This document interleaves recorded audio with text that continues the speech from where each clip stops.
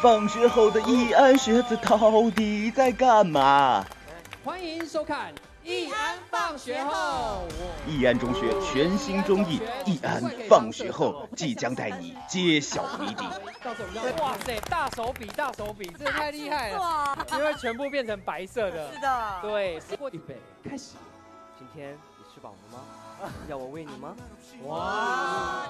体力最好的他们，能否在枕头大战里突出重围，赢得属于自己的荣耀？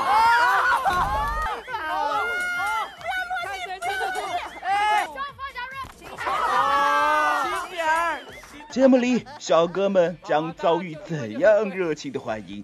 就在大家崩溃的同时，我们现在就来看一下我们本周的。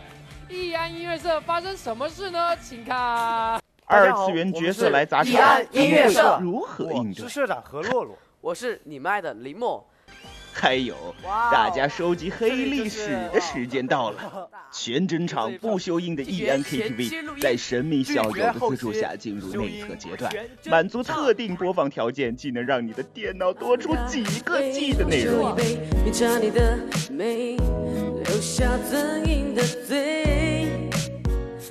我